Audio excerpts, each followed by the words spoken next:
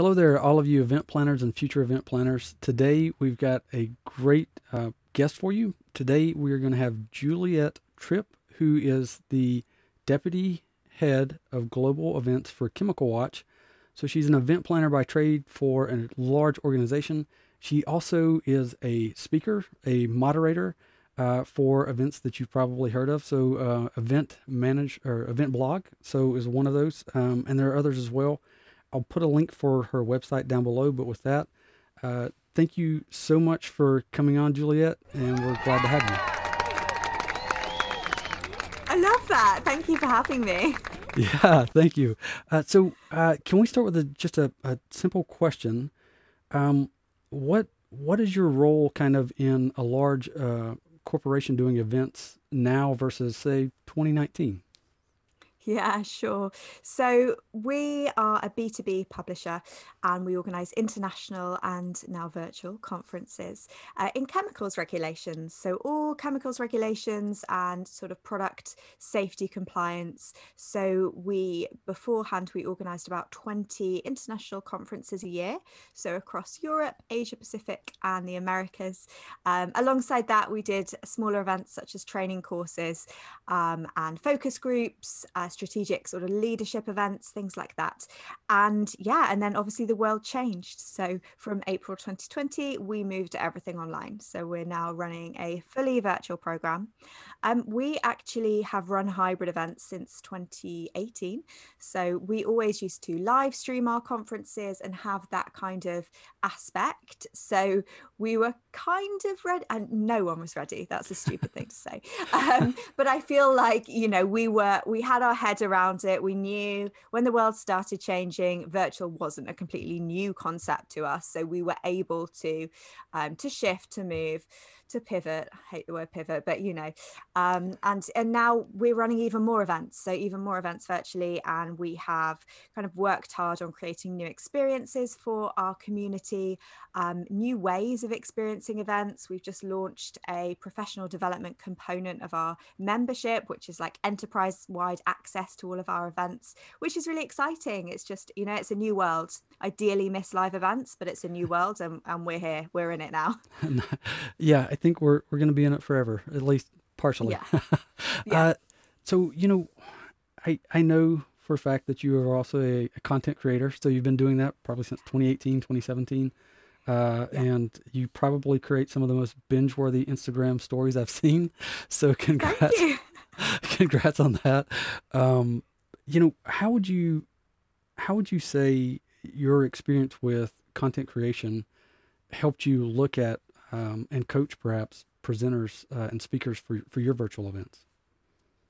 Yeah, this is such a great question. I think at the end of the day, we're all people. So people buy from people. We like to build up that know, like, and trust factor, right, in our community and the people that we're engaging with. And at the end of the day, whether you are presenting to your Instagram story or you're presenting on stage or at a virtual event, we're all human and actually just showing up as you um, as unscripted as possible. Unscripted is different from unrehearsed um, but just being you and you know smiling and bringing that human element i guess um, relaxing into it as much as you can is something that i've really really tried to to bring and i guess it helps being both sides and um, having the speaking experience as well i know the pain points i'm not a tech person by trade at all so I think I know the stupid questions that people feel free too afraid to ask, and I can try and help with that as best I can. Beautiful. Oh man, so true. So, I I guess you know as you as you continue on with virtual events because you've been doing them almost a year now. Um, are are there things that you've kind of learned or things that you are now applying from virtual events in your uh, content creation or vice versa? Or, or are you seeing other trends that are kind of overlapping? Yeah, um, I think it's you know they're very different things and i the content that i'm putting out to the world is is very different than my day job but ultimately it's just having a strategy behind it whatever your audience is and i think strategy is the trend. It's the one trend which will always be my core value. It will always be the most important thing to me in the events that I'm producing, the content that I'm creating, because ultimately we've got to know our why, we've got to know our end goal. And I think that's something that translates across the board in many different industries, but many different content outputs. So, you know, if you are starting a podcast, why are you starting a podcast? Who's that for? If you're creating a virtual conference, what's the strategy behind that how is that going to help you meet your business goals or how is it going to drive revenue or whatever it is but i think that's something as well like i'm being more strategic about what I'm posting, mainly because I don't have I don't have the time. I wear a lot of hats. I juggle a lot with side hustles and, and full time work. So I have to be strategic, and I, I drill down into my niche. And you know, if you do follow me on social media, you'll know that I only post a few sort of topics. So international events management, personal development, goal setting, event strategy. That's really it. And by focusing in on that niche, as we do at Chemical Watch with our events, we know our niche. We know that we are a player in that field and we go for gold in that field rather than just experimenting and doing everything. Yeah. So I think yeah, I that's that's my a, that's my trend. that's a great point. Um, and yeah, I think what you've done really well, um, from what I see of your Instagram is cultivating a relationship um, and I think that's so invaluable, and it's so um, it is so hard for some presenters to to come across in that same manner digitally as they would in an in-person conference where you you expect that you're going to walk up and, and shake someone's hand afterwards or give them a hug or all the things that we miss about in person. Yeah. So, um, yeah, I, do you think that's a one one hit kind of thing, or or it takes time to build? Like, how can you how can you cultivate that at, at a conference that's all online? It's hard. It's really hard. And I I'm a performer, I'm an extrovert. I liked being on the stage. I presented at five virtual events last week and by the end of the week I was more drained than I've ever been presenting at live events. I found I find it more draining of my energy because I don't know you can't read the room. Like you Yeah. don't know if people are laughing, smiling, supporting you. So, what I try to do is build that rapport and that relationship, whether I'm a speaker or an event manager, um, with that community. As you say, building a community, building relationships is absolutely vital. So, can you start reaching out to people using the event hashtag on social media? Can you start a conversation on LinkedIn and find out what people are looking forward to about the event? Can you meet up with them in a virtual networking room beforehand and check how their day's going? Like all these little touch points, so that when you do get on that stage virtually, they know you. They know you as that friendly person that reached out that said, you know, I'm here for you. I'm presenting on this topic. Like, how can I make this experience better for you? And that that can be across the board, whether you are um, a speaker, an organizer, a marketeer, a sponsor, or a partner of an event. Um, you know, I think we all have that responsibility for our communities to show up for them and and create these moments. Like it's all we have right now, so we Yeah, have to go all in on it. yeah. I mean that that's a beautiful way to put it. Thank you for that. Thank you. So, I I mean, I guess when you when you say it like that, what what um role or what responsibility do you think from from your event planner side of your brain do you think your presenters that you're bringing on your keynotes your whoever um do they have a responsibility or going into 2021 and, and throughout will they begin to have a larger responsibility to actually cultivate those relationships in advance which is i, I think what we're talking about Yeah, I think so. I think so. It's, I mean, it's different for every event, but ultimately you get in what you no, you get out what you put in. That's what I mean. Um, so you are going to be more trusted, more liked, more valued the more that you show up for that community with whatever that objective is. So I think it is important. And as soon as the world changed last year, you know, how many free webinars, Instagram lives, virtual events were you seeing? Like it was day in, day out, it was constant, which is fine. But now we're used to them and we we invest in them. You know, we're ready to invest. you know, I buy tickets to virtual events because they're something that I know I'm going to get value out of. If I am paying um, for a ticket, I expect good presenters that know what they're doing. I expect moderators that can bring the audience along for the ride. You know, the role of a moderator is absolutely crucial. And we're not just winging it anymore. Like we've got to show up and be there for our audiences and and know what their goals are and look at how we can curate that experience for them so that they ultimately get what they came for. Yeah i think that's a beautiful point um and, and a great segue. You um you mentioned moderators and i know you do some moderating. So you know when you are moderating how how would you say that's different and and are there things that you're being more intentional about? Um, because the platforms are so so all over the place right? Some some of them you can't see your attendees. Some of them yeah.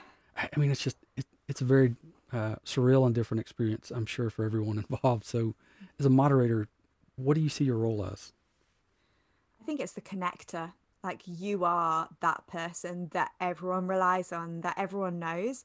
You are the friendly face from first thing in the morning till last thing at night sometimes and you are the person that connects those people beyond the screen at home or in their home office with um, you know the rest of the speakers and you have that topic or that goal and you weave it into every conversation. You keep the conversation going even if it stops, even if your speakers fall apart and they forget their answer to a question, like you're the one that picks them back up, that empowers them to speak up and really gets the words out of their mouth and and you know cultivates relationships between the speakers. Say you're moderating a panel, you know, are you building these relationships between people? So like gone are the days where moderators just go round the circle and ask everyone the same question. and if moderators are still doing that, then we need new moderators. Like we need to just do this in in new ways. And like if you don't know the topic if you're not a subject matter expert um, then just do a little bit of research do enough research so you really know and you get it. Um, because you can be caught out as a moderator. I've been caught out before if i'm moderating a session that i don't really know you know i know events but events is a big world and there's stuff that i don't yeah. have experience in especially on the tech side. So you you have to wing it a little bit but but know enough know enough about the content about the audience about the speakers definitely. Yeah so i think yeah i think you're right. You know moderators now more than ever are are kind of this through line from the beginning to the end of the event. Um, and you know uh, i had someone on a few weeks ago um, stephanie uh, Liu, who suggested you know the, the best thing that she's seen are those presenters like herself who uh, attend the sessions before her so that she can string you know key points from from their um, session into hers and i think moderators have a, a much larger responsibility now in, in, helping because some presenters still aren't doing that mm-hmm. um, it's it you know it it's a very different um, expectation perhaps that we put on moderators and mcs and i yeah. wonder are they more critical now than ever yeah I think so. People expect more. We expect more from everything. Like, you know, we know that virtual events are not just Zoom calls anymore. They're not just webinars. They're so much more than that. So therefore, the moderator's game is so much higher, and they have they have to story tell. They also have to be the person that picks things up when things go wrong or if there is a technical fault which still happens and it will happen because we're all human and connections break and you know we do our best but but that moderator should be able to seamlessly um, keep the audience happy or you know come back and recover from things so there is that expectation because your moderator is on the front line and often they're going to be the ones seeing those angry comments in the chat box which oh. you know we're still we still see them and what really infuriates me is when we see it at event industry events because I know that we're allowed to be critical, but we sh- we're in it together. Like we're all facing issues, and why can't we support each other? It's so frustrating when you see all these comments coming through, like the sound's not working or can't hear that presenter. And think you know the people on the other end know that they're probably trying to fix it. Just help them. Like we're all in the same boat here. Yeah, yeah, that's so true. Yeah, don't don't um don't tag on, right? Once is enough. exactly. Exactly. uh, yeah. So I, I, guess you know your work as a moderator now is, um, in some ways, um, more valuable than than a, a presenter or a, a, uh, an event planner. I would say. Yeah. Uh, but I haven't really seen that uh, play out as a trend yet. There are still so many events who aren't uh, throwing a lot of budget um, at a moderator versus a, a keynote. Um. Do you mm-hmm. think that's going to change?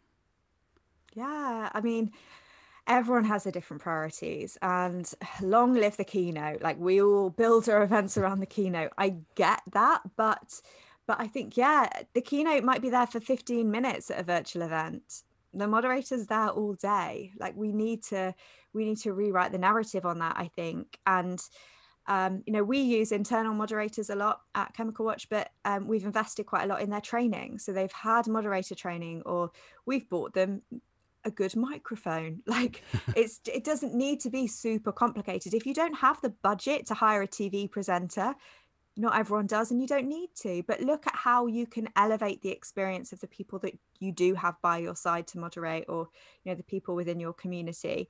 Um, but yeah i think definitely the, the role of the moderator has to be up the list and the one big reason for that is hybrid is on its way and the moderator is crucial in hybrid because they really are holding more together than ever before and they have to command the room and they have to command um, the platform also. So it's it's it's big. It's it, there's there's a lot riding on the role of the moderator. Yeah you know i think one of my favorite bits of advice um, recently is um, if you if you can't afford a proper mc hire your local tv journalist. They've been here and they've watched it fail right? Yeah uh, yeah. So true. Or don't do an event. Or just don't do the event. Um, have true. someone that can at least at least try. But yeah definitely it's it's important.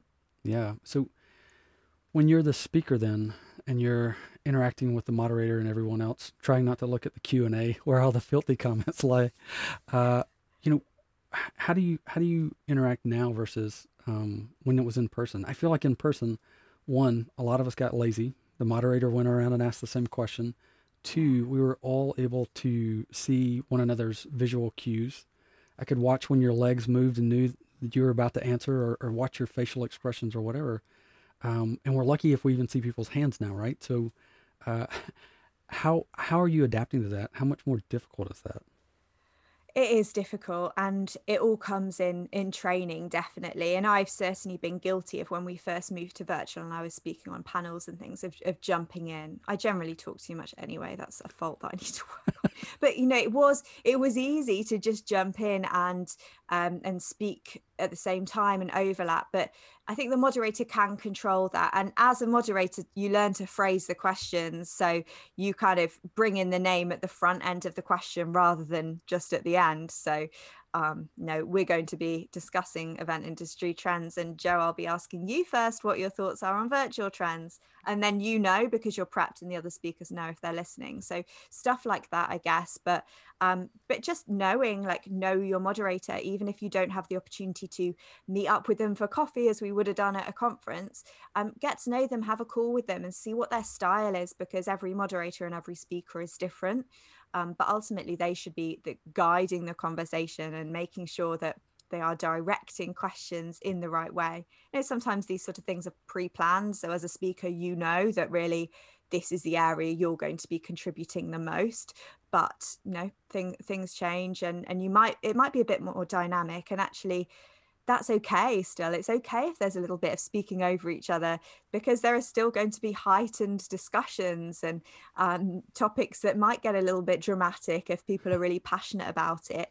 Um, so that's, yeah, it's worth bearing in mind that we are still human and we do our best, but it's not always going to be perfect. Yeah. Yeah. I mean, a little bit actually helps people realize this is live, right? This isn't some taped affair.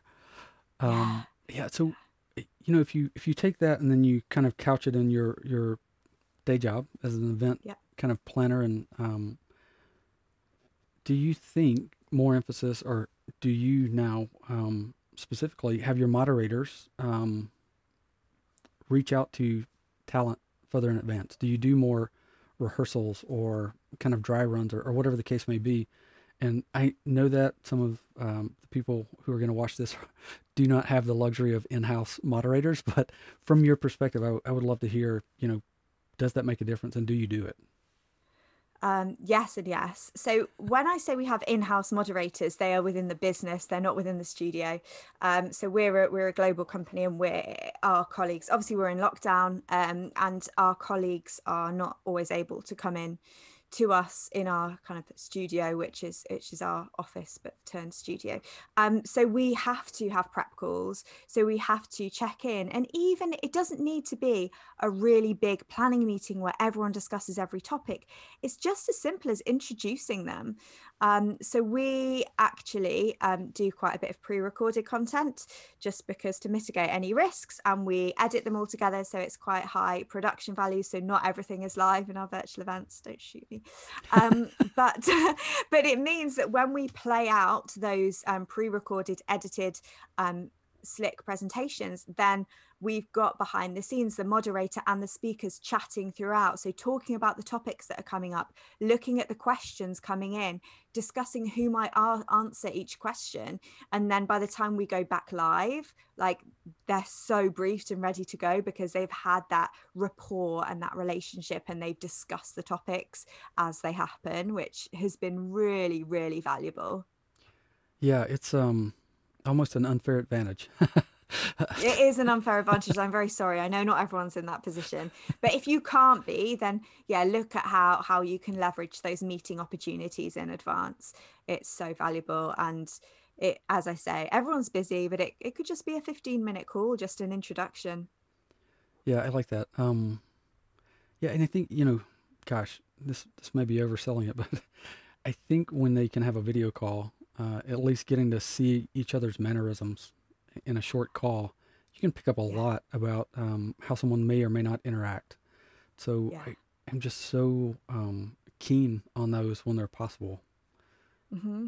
Um, yeah, it's not always possible, but but yeah, it's almost a prerequisite now for speakers when we're booking them and moderators. We kind of let them know that this is this is how we do things and why always good to tell them the why because if people are new to virtual speaking still of which many are they might still not have done it um, they might not understand. They might think well i'll just i'll send you a video and then i'll show up on the day. But actually make sure that they know the reason you're doing everything like why you're mitigating risks why you need to hold their hand more so than you would at a live event and and all the reasons behind that because it's just going to help them buy into your um your planning and everything you need them to do a lot more.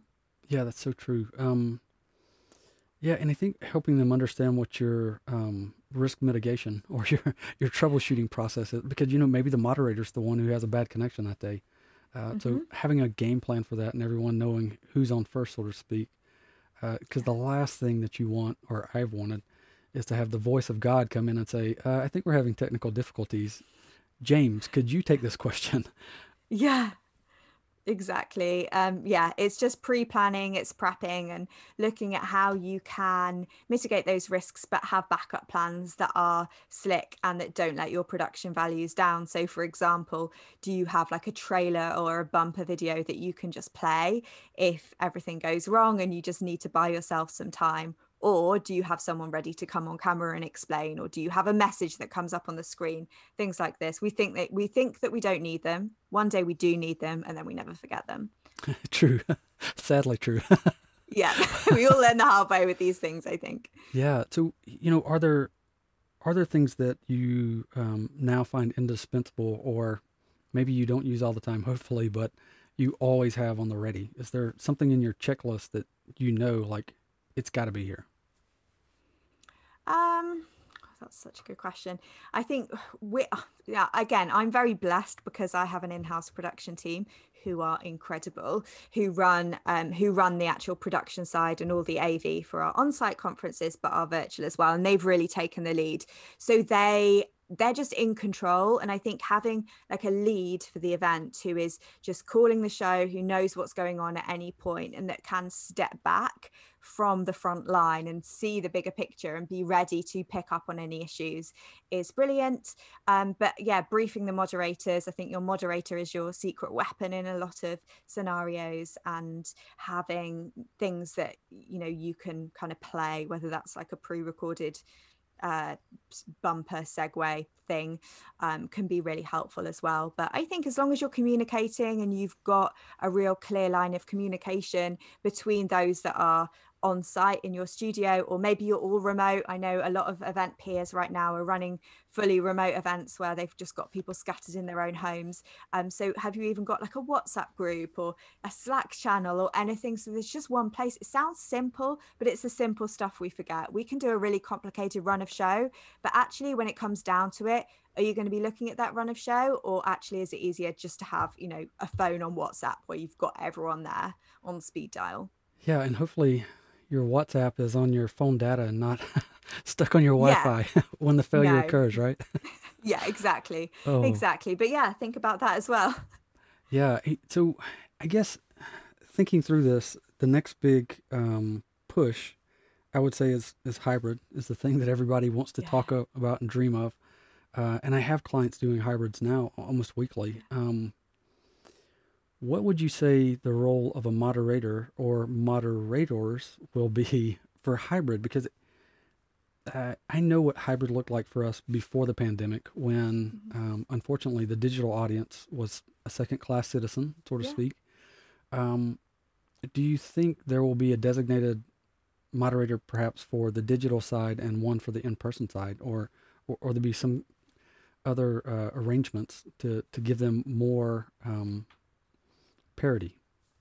Yeah, I think it could be a bit of both. And I have seen some omni channel events that have sort of a different moderator in each location, whether that's a virtual location or a studio, um, or, you know, different studios across the world, even. I think that can be great because those moderators build up a rapport and there's almost this like competitive nature of them um, between the regions and that nice like bouncing around each other. I think that's great.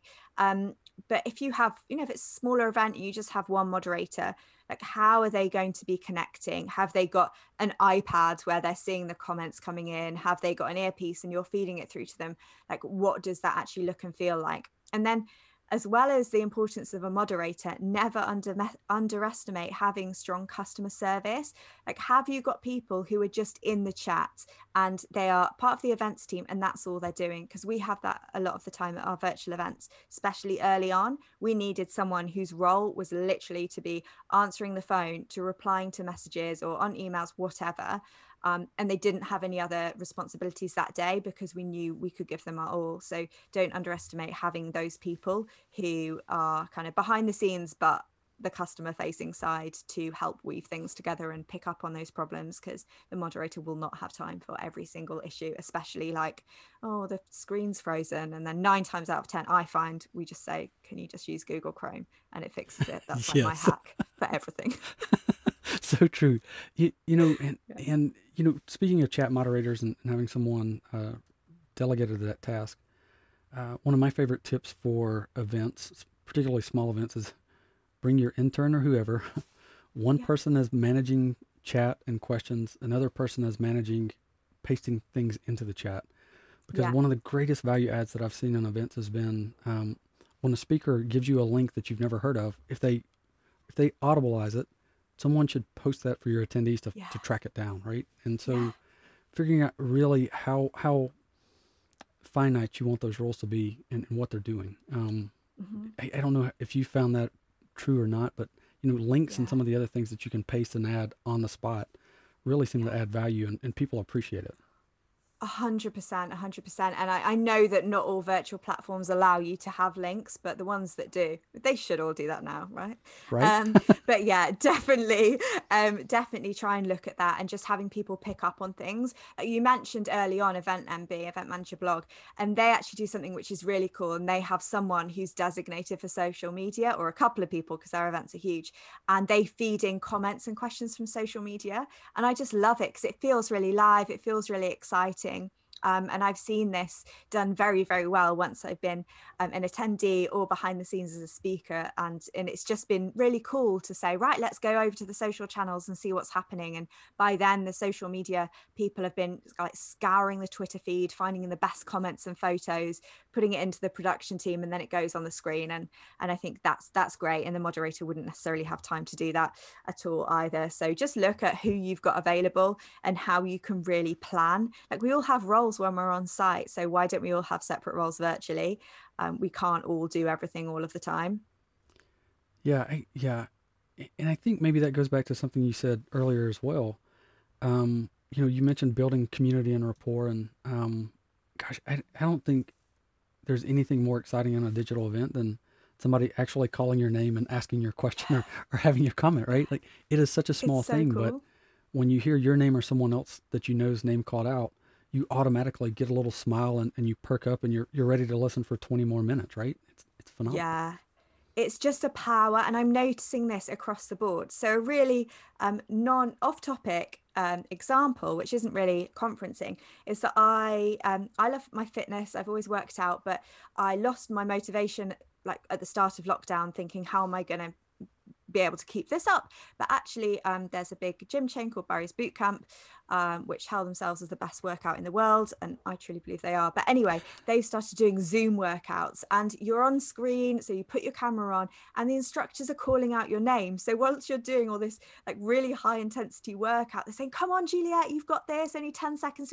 And like, it's stuff like that. And if they can do it in a Zoom workout, we can do it at our virtual conferences. Like if anyone can make you carry on doing press ups at six in the morning in your living room with dogs running around and all sorts, then then let's we can do that at our conferences too. So that's another thing. Like, you know, just find out who's listening in and give them a shout out. It doesn't need to be cheesy. I run chemicals regulations conferences it's not fun content it's not exciting content but you can still be there for your attendees and find out you know like we've started asking people now like let us know um, where you're joining us from today in the chat. Yeah. and we never used to do that because we thought oh it's too cheesy. Our audience won't like it. They're too serious. They they will think it's a distraction. But actually they started engaging now and it's lovely and it's nice to see who's listening in and again it's the human connection piece we're all human and we'd be saying hello if we were at the drinks reception with a glass of wine so we can do it in the chat box. Right? Just bring your own glass of wine. Um, exactly exactly. So you know how does that um, or does it play into your event goals? Do you do you anticipate and think of some of those things? Do you actively do you have some metric or some standard for how much engagement you want of, of various kinds or or how do you set event goals Yeah, oh well, I'm I'm all about the goals in every area of my life, especially events.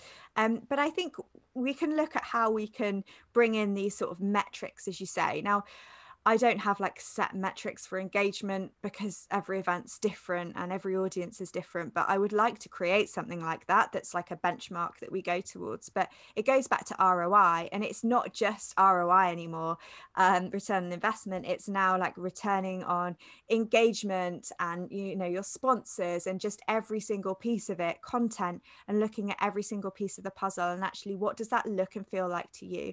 Is it 60% of your delegates downloading some presentation slides, or is it um, seven out of 10 delegates going to a sponsor booth? Um, you can set these goals yourself and you can set them in line with your stakeholders' goals, you know, talk to each other, work out, especially if you're working with partners, speak to them. What are their goals and how can you, as a, the event planner, help them reach them? Um, and just so those are good things. But yeah, just looking at how many conversations are created or you know whether it's one-to-one meetings if that's something that you do or downloads of content or downloads of white papers or showing up to a virtual meeting room or uh, showing up to the plenary session, whatever that looks and feels like for you. I think anyone can set goals. If you feel like you're kind of just going along and just making stuff happening happen and trying to tread water at the moment, go back to your why and start to set some small goals for all your team to work towards. Um, because it can become quite, you know, an engaging, interesting process. It gives us all something to aim for and to improve on next time.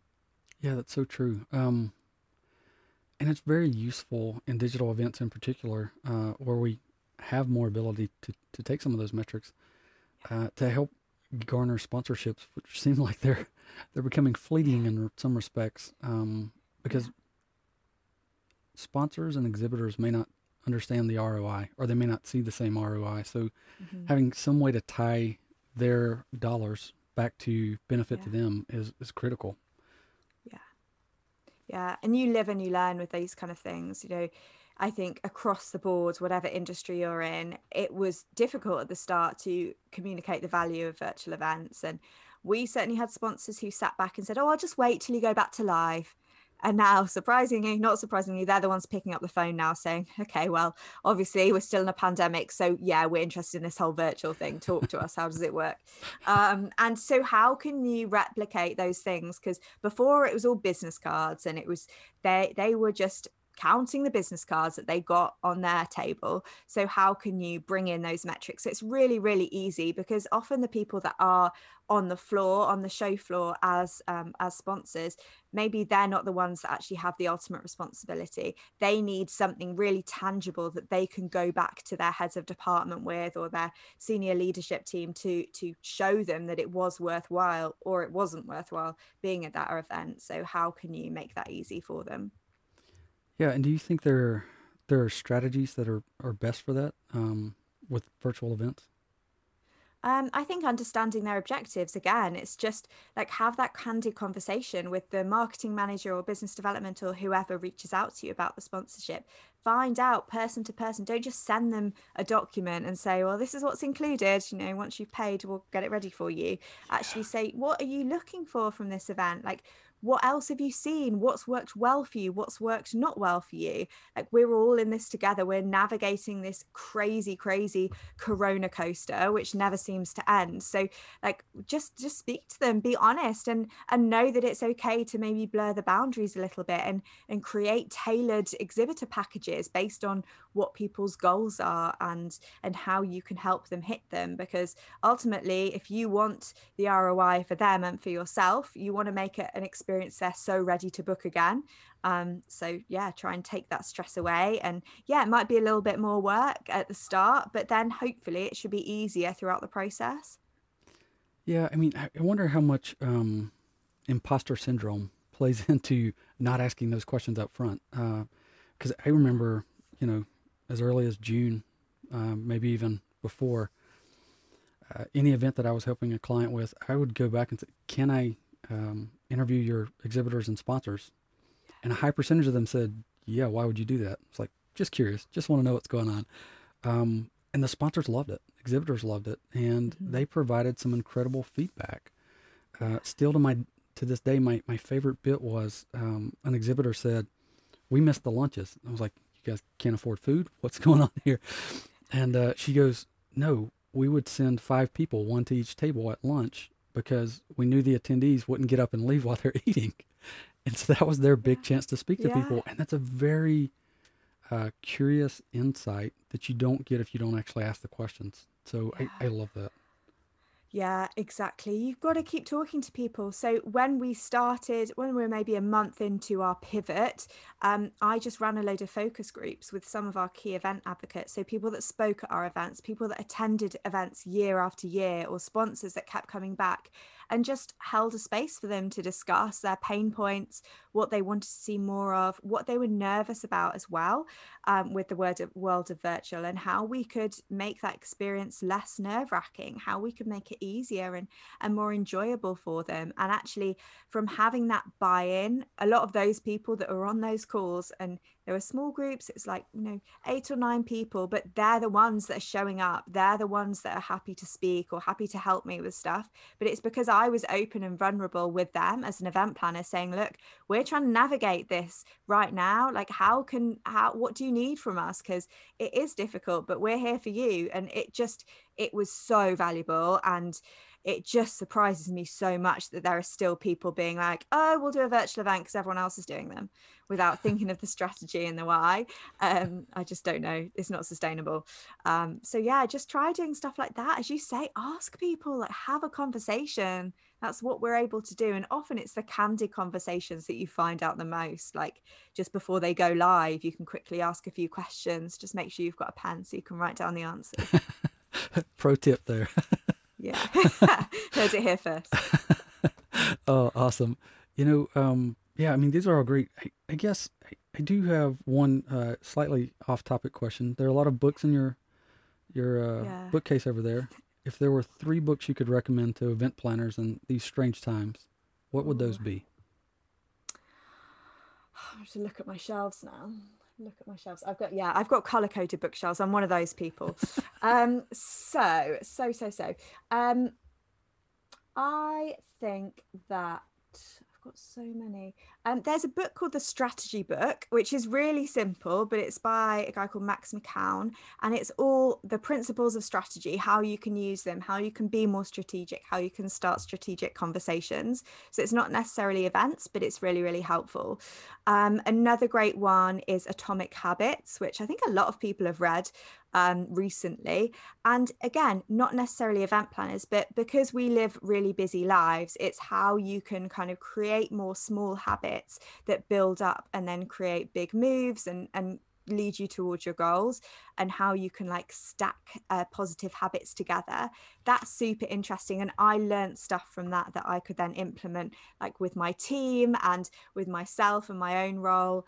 And um, you spoke about imposter syndrome and um, and goal setting. And it might be more of a, a female oriented book, but um, Rachel Hollis's Girl Stop Apologizing is just incredible. Um, I think for anyone in terms of setting goals, being unapologetic, unapologetic in pursuit of your goals, um, and just realizing that you can absolutely make stuff happen. She used to be an event planner as well before she kind of went into the world of personal development. And I think every time I read it, I know she's been there. I know she's done it all. so it's, yeah. So those are my top three.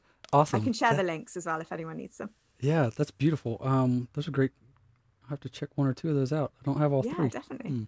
Yeah. Uh, yeah. So, um, is there anything I forgot? I don't know. I think we've covered so much, so much. Um, yeah, I guess my takeaway is always know your why, go back to your why, and don't be afraid to like ask questions ask questions all the time. Um, I think we've we've all been navigating this. There might be some people listening who have never done, still never done virtual events, and it's new to them, and they feel a bit anxious. Know that this is all still this still fairly new to us. Ask the questions because there are people who are willing to help um, you know i was the one i'm you know i'm a true blonde i'm always asking stupid questions but luckily i've got people i know who to go to um, and i ask the questions that people are too afraid to ask because i've been there. So so know that you know you've got people that you can call on certainly the event profs community because there are people who don't just want to sell you st- there are a lot of people who want to sell you stuff right? Especially virtual platforms. But there are people who actually so are happy true. to help you. Yeah so just you know keep talking we're in it together Awesome. Thank you so much, Juliet, for joining us. Um, for all of you planners, plan on coming back next Thursday. We'll have another great guest, and we look forward to seeing you then.